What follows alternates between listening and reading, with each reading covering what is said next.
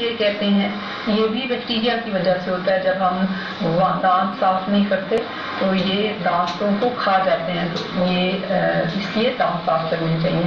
फिर food poisoning जो है, वो भी बैक्टीरिया की वजह से होती है और बैक्टीरिया की वजह से फ़ूड पॉइजनिंग की वजह से या तो हमें उल्टियाँ आ जाती हैं या हमें डायरिया या मोशंस लग जाते हैं।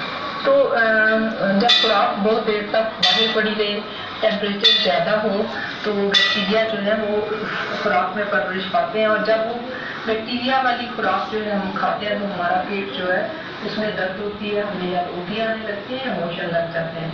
तो फ़ूड पॉइजनिंग से बचने के लिए हमें चाहिए हम फ़ूड को साफ़ सुथरा रखें, धो लें अलहदा अलहदा करके रखें, उसे प्रॉपरली खा, पकाएँ, और उसके, या फिर उसे रेफ्रिजरेट करें।